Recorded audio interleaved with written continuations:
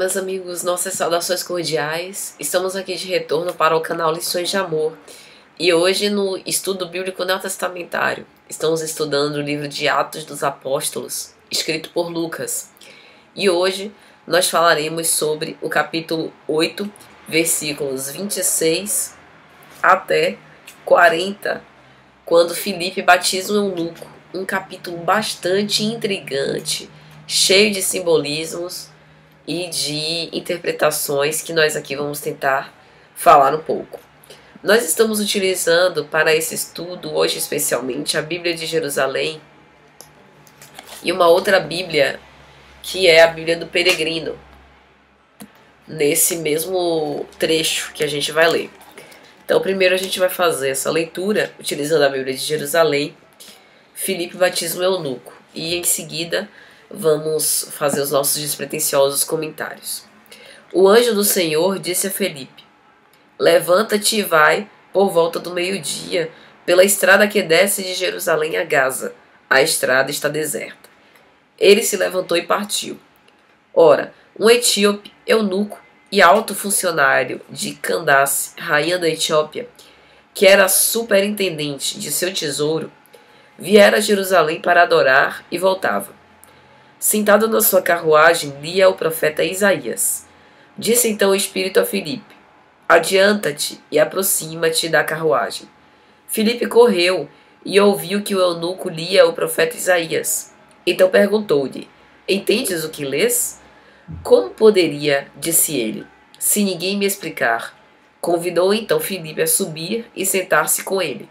Ora, a passagem da escritura que lia era a seguinte: Como ovelha foi levado ao matadouro, e como cordeiro, mudo ante aquele que o tosquia, assim ele não abre a boca. Na sua humilhação foi-lhe negada a justiça. E a sua geração, quem é que a narrará? Porque a sua vida foi eliminada da terra. Dirigindo-se a Filipe, disse o eunuco: Eu te pergunto, de quem diz isto, profeta? De si mesmo ou de outro?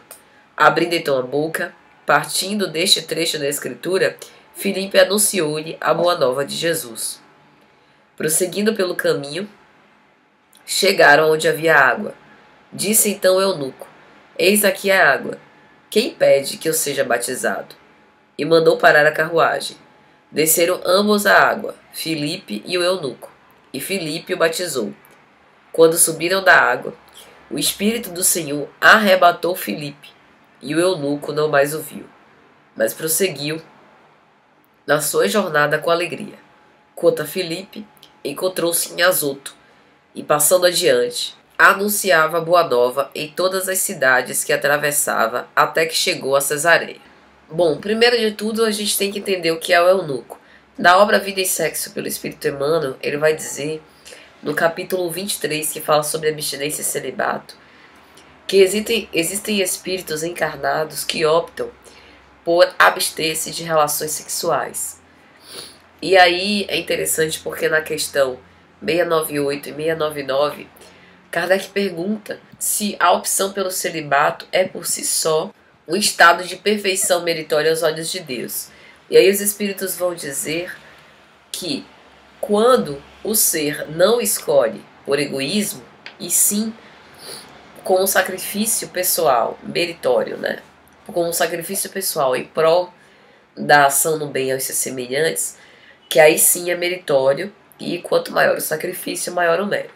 Mas ao lado desses espíritos que escolhem por livre e espontânea vontade não se consorciarem e não terem essa experiência sexual, sendo que nessas criaturas elas não são psicologicamente assexuadas, mas apenas souberam canalizar essa energia para outros fins, há também aqueles que, impondo-se duros regimes de vivência pessoal, há também aqueles que já renasceram no corpo físico, induzidos ou obrigados à abstinência sexual.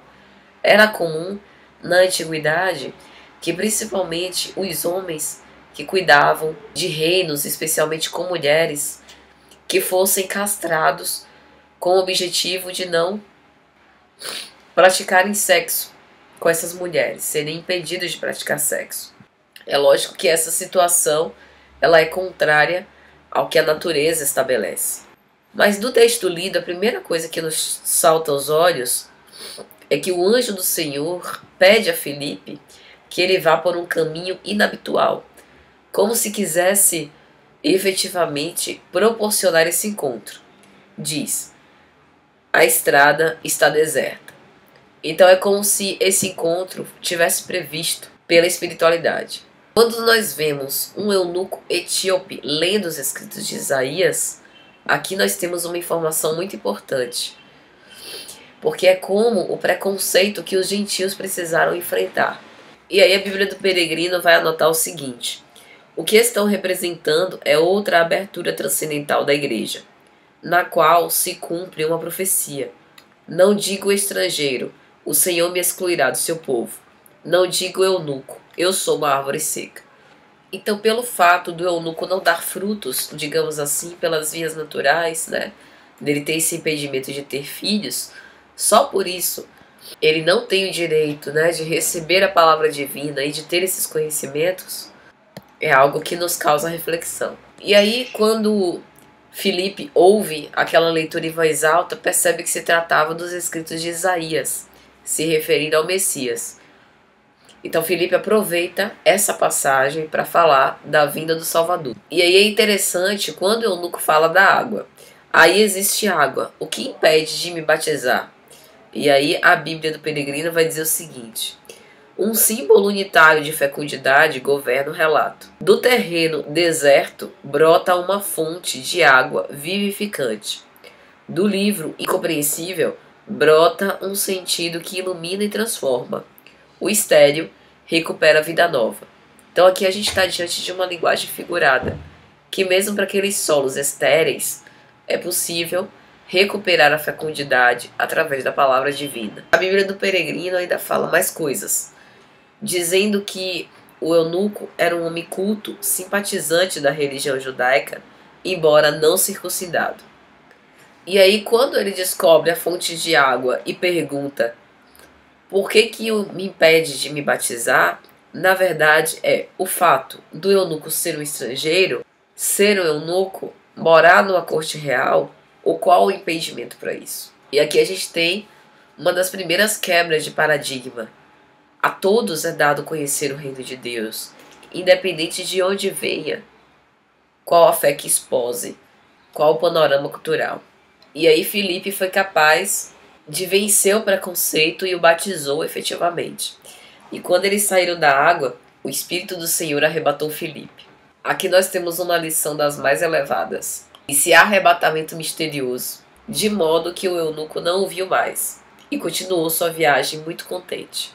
E aí ele, convertido, portanto, ao cristianismo, tinha saído a propagandear o evangelho. Alguém que, numa linguagem alegórica, era infértil, estava agora fertilizando corações. Essa é a bonita mensagem do batismo do eunuco por Felipe. É isso, meus amigos. Espero que vocês tenham gostado. Até a próxima, se Jesus permitir.